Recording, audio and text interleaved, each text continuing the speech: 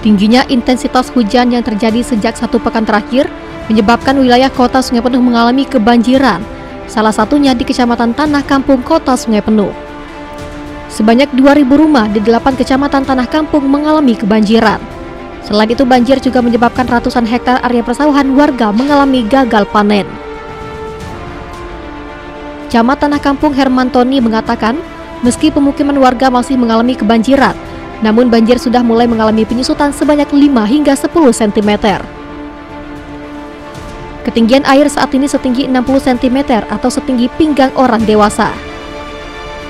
Hingga saat ini pihaknya terus berkoordinasi dengan pihak terkait untuk mengatasi masalah banjir yang terjadi di Kecamatan Tanah Kampung, Kota Sungai Penuh.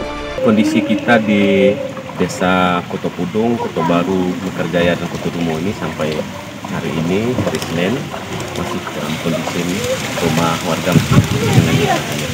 Hmm, itu untuk Kecamatan Tanah Kampung sendiri, Pak. Itu ada berapa desa yang terendam, Pak? Kalau untuk yang terendam, ini ada empat desa.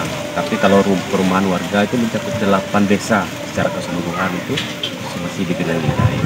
Hmm, untuk ketinggian airnya sendiri, Pak? Seperti yang kita lihat eh, di saat ini di belakang kita itu ketinggian air rata-rata 50 sampai 60 cm lah. sampai arah ke ujung sana 50 sampai 60 cm. Ini sudah ada penyusutan atau masih naik, Pak, airnya? Kemarin sore juga kita dengan Pak Kades meninjau langsung eh, melihat kondisinya.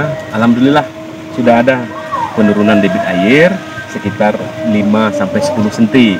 Karena malam tadi memang Sungai Penuh dan Kabupaten Kerinci eh, tidak ada diguyur hujan. Dewi Wilona, Jambi TV.